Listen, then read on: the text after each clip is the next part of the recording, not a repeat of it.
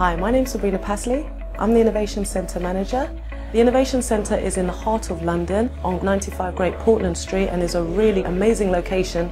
The Innovation Centre has been opened as of March the 13th, 2013 Saint-Gobain has 32 businesses which are exhibited in the Innovation Centre.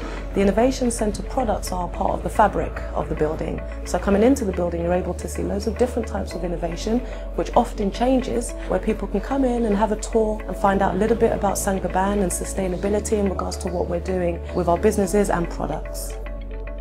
So the Innovation Centre sees loads of different types of activities, such as workshops, CPDs, receptions. You have networking opportunities where people can come in. So it's a really, really great hub in the centre of London for that kind of activity.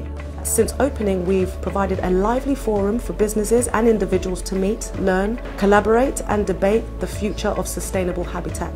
We have two meeting rooms downstairs and the event space upstairs, but what we've had to do is actually create more meeting facilities. So we now have two new pods, which are a little bit more intimate for our customers to have a shorter meeting, which seats four in each pod.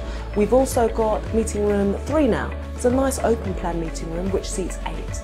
The businesses that we've seen in the Innovation Centre include Kier, BAM Nuttall and IBM. Events have also been held by UBM, the Passivhaus Trust and Zero Carbon Hub.